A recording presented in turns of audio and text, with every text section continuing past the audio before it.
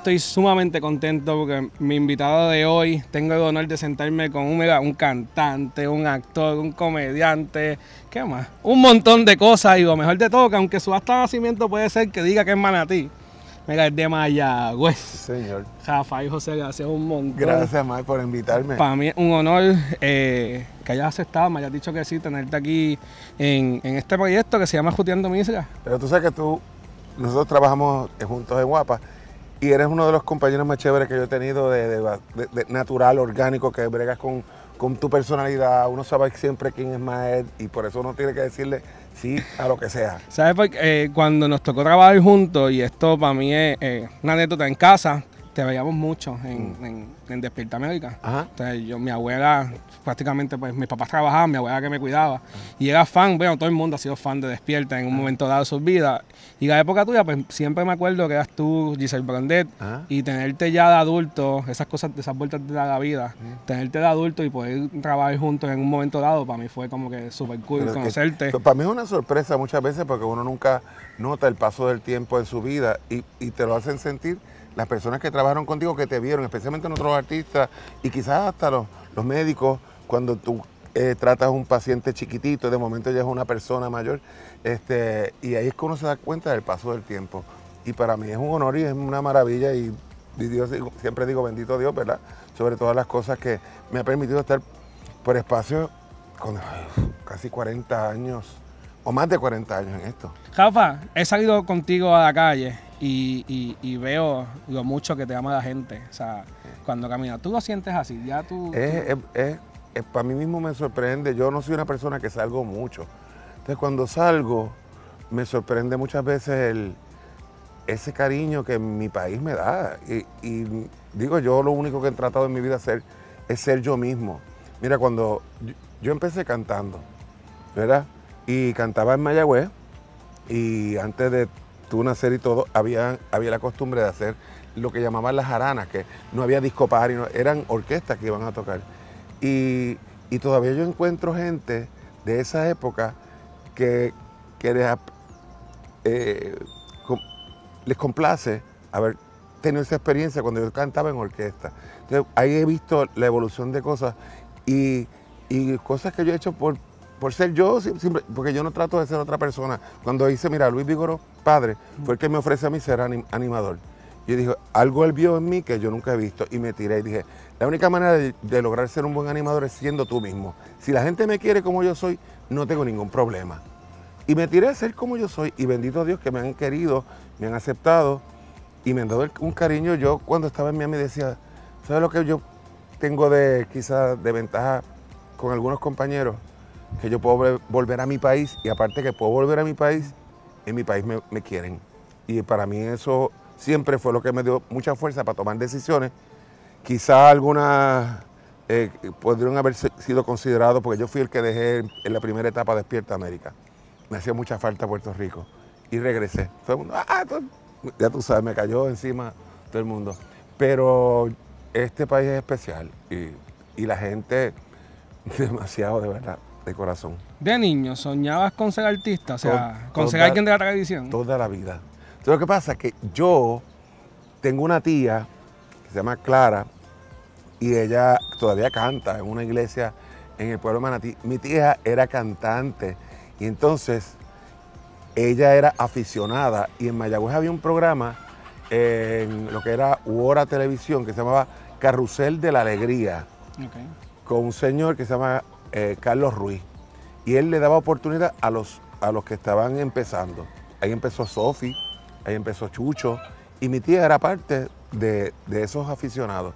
Y un día me llevaron a un estudio de televisión. Y yo veo aquello, porque entonces, como yo era chiquitito, me metieron en el, en el, este, en el camerino. Y yo veía a todas las mujeres poniéndose esos trajes tubos de la época, queriendo ser Marta Romero, queriendo ser Marilyn Monroe, y todo el brillo y la cosa, las cámaras enormes. Y yo decía, Dios mío, yo quiero hacer esto. Y por más que la vida me dio vuelta, terminé lo que quería hacer. Si no hubiese sido artista, si eso no te hubiese dado, ¿en qué te estabas encaminando? Médico. Médico. Mi papá es médico, mis hermanos es médico, mi tío, mi tía. Vengo de una familia pobre que se esforzaron para lograr ser médicos en la época de los 50. Y mi hermano después la siguió eh, siendo ginecólogo en el pueblo de Aguada, Eberto Díaz Otero, por si acaso. Y, este, y mi, mi hermana es nutricionista. En, en casa, el que menos sabía poner una inyección.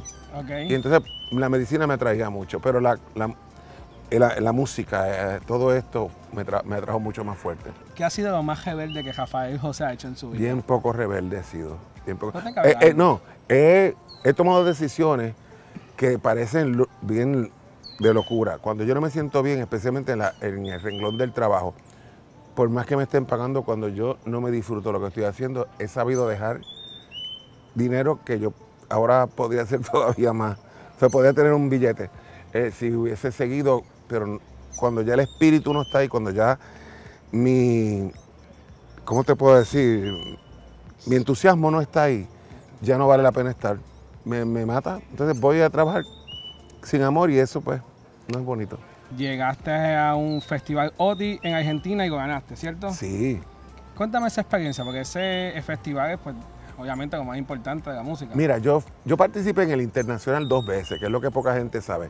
Si te vas a Festival OTI 1978 este, en Chile, yo quedé en cuarto lugar. En esa, la- Paquito Cordero me dio esa oportunidad. ¿Qué pasa?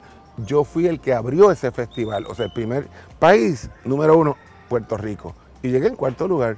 Y parece que él vio, digo, si llegó empezando al cuarto lugar, a lo mejor pasó un año, fue Nita al año próximo, el 79, y en el 80 él me dice, yo quiero que tú vuelvas.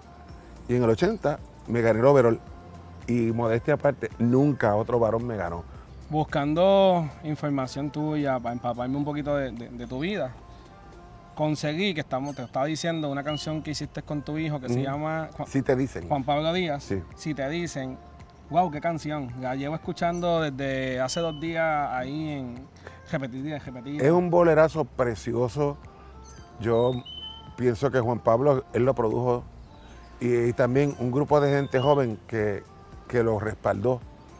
Y eso a mí me alegra mucho, tú sabes. Primero que la canción, yendo a la canción, es, la escogió él. La interpretación mía pues la hago yo porque es personal. Este, pero es de las cosas más lindas que, que yo he podido hacer. Tanto que no solamente por la canción, sino porque también estoy eh, para la historia. Queda ahí un dúo mío con Juan Pablo. Tu trayectoria sigue avanzando de la música, no sé si estoy equivocado, pasas o te llegan las oportunidades para actuar en novelas, ¿no? No, bueno, sí, sí, porque yo empiezo, imagínate, yo empecé en Mayagüez después que me gradué de high school, como en el 73, en la orquesta, Pin- primero fue una que se llama Peace Band, pero en aquella época no había nada más que orquesta para los bailes, no había disco party, no había esas cosas, no existían. Y yo empiezo ahí. Después en el 70 y pico, 75, 76, me descubre cantando para otra orquesta que fue la más fuerza que me dio, que se llama la Peanuts Mini Band. eh, me descubre en uno de los bailes Tite Cure de Alonso. Wow. Me trae a San Juan y al venir a San Juan me presenta a Fran Ferrer, un productor, y ese fue el que me hizo mi primer disco. Este, y por ahí eh, fue que yo seguí mi carrera. Yo fui coro de Iri Chacón. Yo fui en, en tu boquita afuera. Oigan bien el tema. El besa que besa. Eso soy yo. Eso soy yo. Eso es Dagmar. También. ¿En serio? Claro. Wow. Dagmar Lori, una muchacha que fue la más inteligente, porque se hizo dentista y aparte cirujana, cirujana oral y maxilofacial. Y, este, y, y dejó la canción, cosa que yo nunca hubiera hecho, pero, este, pero éramos los tres los que le hacíamos coro. A ella, a Iris Chacón le hicimos coro, también en el disco de Sofi, yo hice coro en los discos de Sofi. Este, voy a tener eso en mi mente. Cada vez que escucho esa canción, Chequea- ¿cuál de Rafa está, está- soy el único varón, chequete. El besa que besa de mayonesa. Eso soy yo. Yo- y con Iris yo pasé, y, de- y- y como Iris estaba tan pegada en ese momento, fue la catapulta para que la gente se diera cuenta, me vieron el show de Iris, los dueños del Ocho Puertas. Que el Ocho Puertas aquí era el nightclub más pegado, eh, after hours que había en Puerto Rico. Y para el que no conozca lo que es el Ocho Puertas, cuando se hicieron las marchas de frente a Fortaleza en julio, Ajá. del 2019, si estás de frente al televisor, aquí en la esquina, donde estaba la barricada, aquí en la esquina, había, hay un edificio que es pin- curva. que es curva y está pintado como de, de rosa y blanco. Ajá, ajá. Eso era el ocho puertas. Y ahí, eh, llegar ocho puertas ya la tenía. Y ahí entonces viene René de la Cruz, el de la agencia René de la Cruz, va a ver ese, me va a ver por alguna razón, porque él era, ha sido el ocho puertas con su esposa. Y obliga a Paquito Cordero a ir a ver ese muchacho. Salían ellos de- del Cerro Mar, que habían acabado de ver a Ernita, y venían y, y, no, tú tienes, le decía, chico, yo estoy cansado, ya me quiero acostar. No, no, tú tienes que ver a este tipo. Y me llevó, entonces Paquito me da su teléfono, cuando terminamos, llámame el lunes. Y de ahí empecé con Paquito a, a- hacer todo lo que fuera cantar. Un ocho puertas hoy en día allí en la esquina, eso hubiese sido un despegote allí. Ah, no, hoy en, Una fortaleza allá abajo. no, hoy en día no, tuviese entero que cerrar con, con todos los líos. Bueno, pero ahí a las ocho puertas se escapaba Rafael Hernández Colón, que para descanse Doña Lila. Se escapaban y ellos obviaban seguridad y caían en ocho puertas sin, sin escoltas con nadie porque daba en la, en la esquina de Fortaleza. Ahí, ahí tú podías encontrar. La primera noche que yo canté ahí estaba eh, Miguel Hernández Agosto, Ruth Fernández, Junito Resto, Ernita Nazario, Wow. eh, en una misma mesa. Y en la otra mesa mi familia de sorpresa. De la televisión de antes, que no había tanta tecnología, Mm. a la actual, porque sigue vigente en la televisión, ya sea Dios has estado en muchos programas y ahora estás en Viva la Tarde. Mm. ¿Qué diferencia? ¿Extraña la de antes o ahora mismo está mejor? Yo creo que, que antes había algo, algo muy retante, que era todo de memoria. No había eh, lo que es el, el IFB, que es el aparatito que le ponen a uno para uno escuchar direcciones. Eh, estabas menos protegido, tenías que utilizar más todo tu conocimiento eh, real y, y no había, no había la tecnología, había tecnología, pero no la misma de ahora. Él no existía teleprompter. Yo recuerdo que la primera vez que yo veo un teleprompter fue con, con Manolo Urquiza, que no sé si tú lo recuerdas, No. y el señor daba, yo me sorprendía que mucho sabe de películas y te hablaba de detalles de la película, él presentaba las películas. Y un buen día entro yo a Telemundo y lo veo leyendo un prompter y digo, pero esto es trampa. Bueno, es cualquiera. Y este, pero sí, era más retante en ese momento, pero ahora, muchachas, si te sabes eso, ya puedes manejar el resto tranquilo. Malo es al revés, que de momento, no hay prompter, no oigo nada, te sientes en el vacío. Si tienes recursos como los que teníamos antes, pues Sí, sí. la- la- la nueva generación pues es un poquito más complicado porque no tiene ese recurso de antes de poder improvisar rápido. Sí. Y Y eso también es verdad. y buscarle qué cosas, cuando te dice estira, estira, que eso es lo más difícil. Ya tú llevas tiempo hablando y dices, mira que todavía, todavía no, no, no cae el video, estira, estira, tú tienes que buscarle dónde vas a estirar. Mirar, mira qué bonita aquella planta, los pájaros están volando, tienes que irte por otro lado para tratar de... Y más tú que tienes un don especial de tirar un punchline para que nada sea un bache. O sea, te sale... No sé, eso, yo, eso, eso es herencia de, mi- de mis abuelos dominicanos. Que los dominicanos tú sabes que, que son muy elocuentes y muy ocurrentes. Y tienen mucha, muchos dichos, tú sabes. Y yo creo que de ahí es que yo heredo esa parte de poder salir con punchline. Rafa, ¿te gusta hacer turismo interno? Sí, me gusta mucho. Me gusta. Mi mamá está haciendo turismo interno más que yo. Porque después que ella enviudó, pues al principio pasó su duelo, pero de momento dijo, espérate. Y encontró un grupo de viudas que se van juntas todas y, hay una señora que la lleva por toda la isla en una guagua grande. Y ella, Rafa, tienes que ir a Coamo, tienes que ir a Naranjito, tienes que ir a tal sitio. Que eh, ella sí que ha ruteado más que yo la isla. Pues Pero- tengo que conocerme, tienes que presentar Pues para claro. montarme con ella y nos con Muchachos, ella. se van un grupo bien chévere de señoras y salen de Mayagüez, van recogiendo los diferentes, van por el norte, recogen a mi tía en Manatí y por ahí la siguen y llegan a todos los pueblos de la isla y la pasan brutal. ¿Y ¿Cuáles son tus spots que tú más visitas y más que te gusta para despejarte después de una semana tan... Mira, a mí me gusta mucho el yunque, el yunque que no, no es- me gusta por, por lo de despejarse. Eh, me gusta ir mucho a los, a los típicos kioscos de Luquillo, a, a Qué com- rico es. todo lo que es la rutita esta de piñones, me encanta. En Corozal engordé en cantidad cuando vivía allá, porque mi fast food más cerca era una lechonera. Mm, Lechonera mi jaldita, que no sé si María se la llevó o no, porque no he vuelto para allá. Pero este, allí, imagínate que yo llegaba los domingos y llamaba, sepárame tanto. Y, allí y en lo que yo esperaba, me daban arroz con gandules, con caldito de gandinga y una cervecita chiquita, en lo que yo esperaba a las 10 de la mañana. Wow. Pasteles de arroz. Eso a mí me fascina. Y también, obviamente, pues guabate eh, y todas esas áreas. Me hace falta realmente tirarme como tú haces y hace mucha gente ahora que es encomiable hacerlo y necesario y ver los sitios donde uno no conoce de Puerto Rico. Y yo me crié, fíjate, en el Cerro de la Mesa de Mayagüez, que tiene muchas áreas de, de charcas preciosas allá arriba. Y una vista Y impresionante. la vista impresionante. Pero el área de las charcas está en el bosque. Y ahí, algún día, si tú quieres, te llevo a las cambímboras. tienes que llevar. No Sí. conozco ese sitio. ¿No conoces las cambímboras? Mayagüez, pero no conozco ese Ah, sitio. papá. Y te tienes que montar con nosotros un día Claro. para, ir irnos a jotear un sabadito de eso y comernos una, una alcapugia. Una Una, o varias. Y, y tú- ustedes no beben. No. Nada, Seguro nada. que sí. ¿Cómo que no? ¿Cómo que no, Sí, muchacho? una alcapurria en una birra. No, no. Con, con un alcohol ni lo, no la voy a bajar porque se- te hace un engrudo aquí. La gente sabe que yo soy de Mayagüez, eso allí se bebe sea, eso no se puede. De medalla para adelante. Me, me encantó este ratito, te dije que era cortito, pero en verdad es bien interesante todo lo, lo que me dices este, y, y todo lo que te ha pasado y obviamente, wow, de chiquito ese sueño y que pudiste, que sé yo, a veces uno tiene un sueño y, y- y no sabe cómo conseguirlo, no sabe cómo trabajar para hacerlo realidad. Yo creo que es perseverancia y uno tiene también una... Tú tienes algo que tienes que hacerle caso a tu intuición. Si algo te dice que puede salir bien, trátalo y arriesgate.